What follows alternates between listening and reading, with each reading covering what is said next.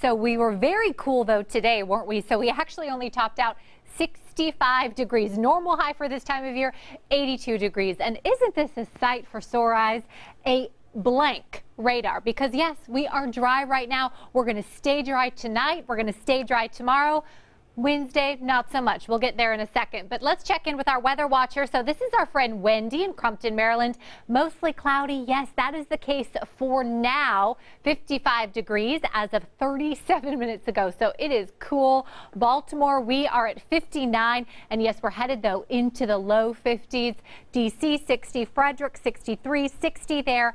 Westminster. So that cold front that moved through yesterday certainly did its job. It was efficient at cooling us on down here.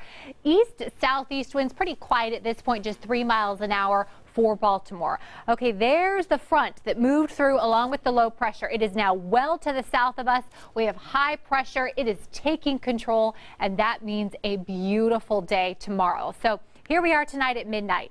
Now, by the time we wake up tomorrow morning, we're pretty quiet here on the Futurecast, as in lack of clouds. I do think for the most part tomorrow, we're going to be mostly sunny.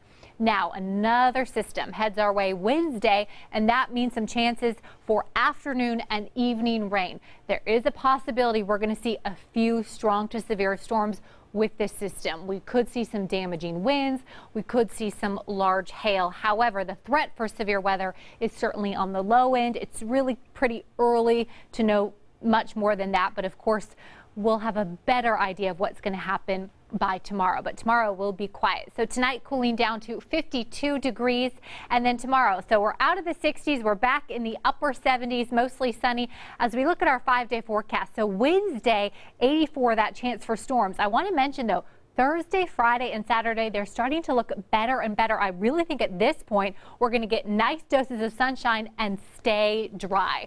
So we just have to get through Wednesday, and then we'll be back to sunny and dry weather. Mary?